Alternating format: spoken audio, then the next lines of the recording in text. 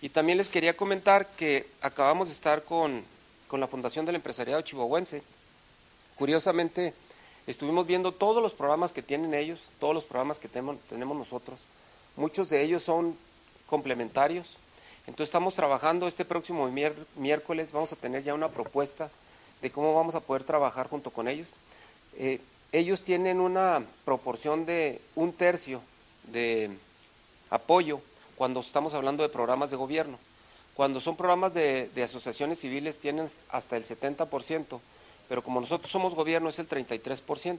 Sin embargo, creo que si complementamos los programas que tenemos nosotros con los que tienen ellos, ese 33% nos va a ayudar nosotros muchísimo.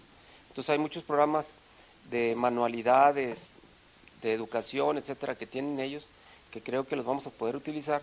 Y para la próxima semana ya vamos a tener todo listo porque el próximo miércoles nos vamos a reunir con ellos para ver exactamente cómo vamos a trabajar.